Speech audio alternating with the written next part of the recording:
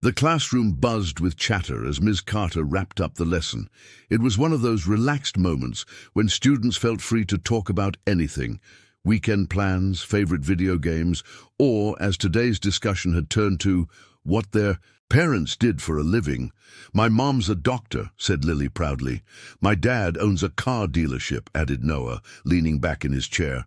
My mom works at the grocery store, said Mia, and a few others chimed in, listing off jobs ranging from lawyers to construction workers. Then Jake, who had been quiet until now, hesitated before saying, My dad works at NASA. For a second there was silence, then laughter erupted. Yeah, right, Ethan scoffed, rolling his eyes. And my dad is an astronaut. More giggles spread across the room. A couple of kids even started making space sound effects. Whoosh! Pew pew! Someone hummed the Star Wars theme. Jake's face turned red. No, really, he mumbled. He works on... Ethan cut him off.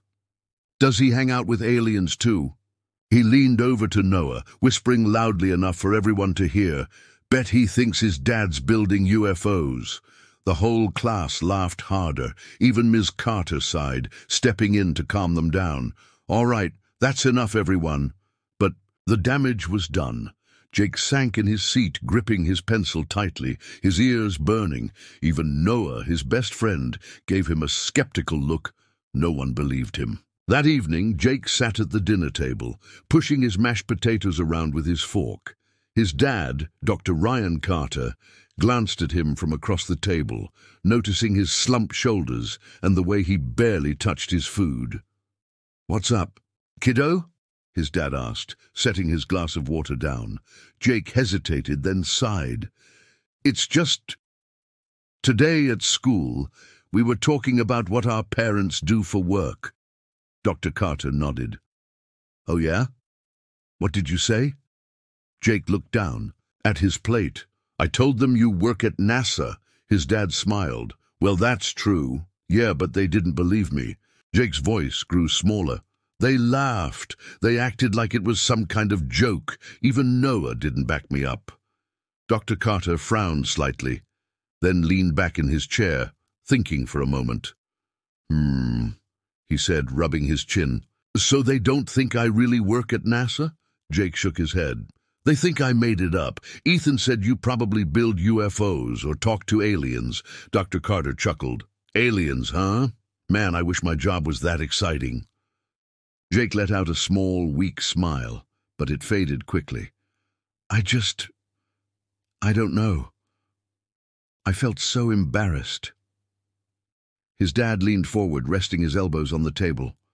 Tell you what, how about I come to your class tomorrow? Maybe they... The next day, the classroom hummed with its usual pre-lesson energy, students chatting, trading snacks, and finishing up last-minute homework. Jake sat at his desk, nervously bouncing his knee. He had told Miss Carter that his dad wanted to visit, and she had agreed without hesitation. But now that the moment was almost here, he wasn't sure what to expect. Ethan, still riding the joke from yesterday, leaned over from his seat. So when's your dad beaming down from Mars? he teased, smirking. A couple of kids chuckled. Jake clenched his fists under the desk, but said nothing. Just then, a sharp knock on the classroom door silenced the room. Miss Carter looked up from her desk and straightened her posture. Come in! The door swung open. A tall man stepped inside, dressed in a dark blue NASA flight suit, patches sewn onto the arms and chest. A NASA ID badge clipped to his belt gleamed under the classroom lights. His confident stride and the way he scanned the room with a calm, assessing gaze made him instantly command attention. The class fell completely silent. Even Ethan's usual smirk faltered. Miss Carter smiled warmly. Class, I'd like to introduce you to Dr. Ryan Carter, a lead engineer at NASA and Jake's father. Jake felt a swell of pride in his chest as he watched his dad glance around the room his expression friendly, but the classroom was dead silent as the astronaut on Dr. Carter's phone floated effortlessly in microgravity, waving at the stunned students. Hey there, Earthlings, the astronaut said with a grin. Dr. Carter tells me some of you had questions. About NASA. Miss Carter's mouth was slightly open in amazement. The students sat frozen, their eyes locked onto the screen. Even Ethan, who had spent the last day cracking jokes, looked like he'd just seen a ghost. Jake couldn't help but glance around the room, savoring the moment.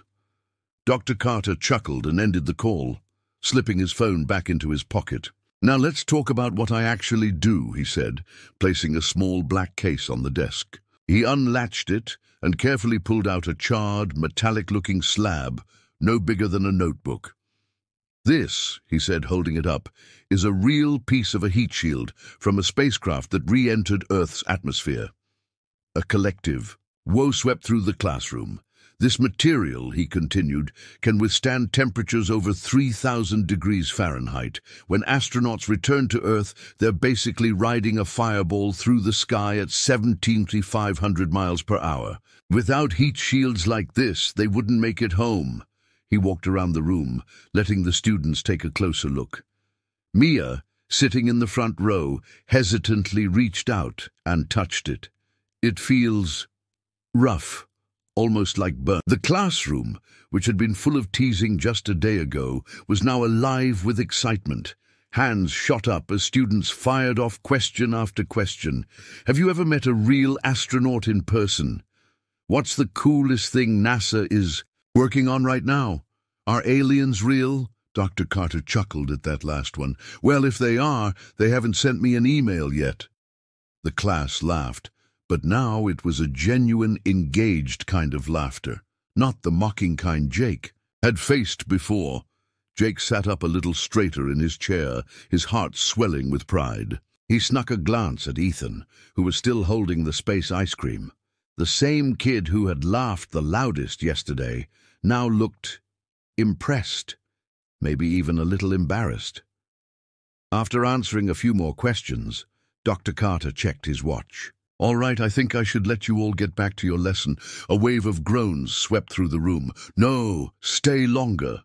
Tell us more about the moon missions.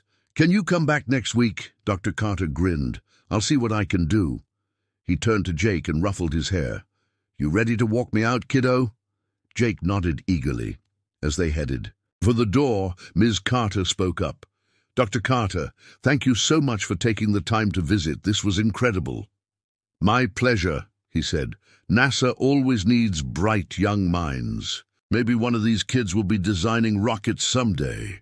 He gave a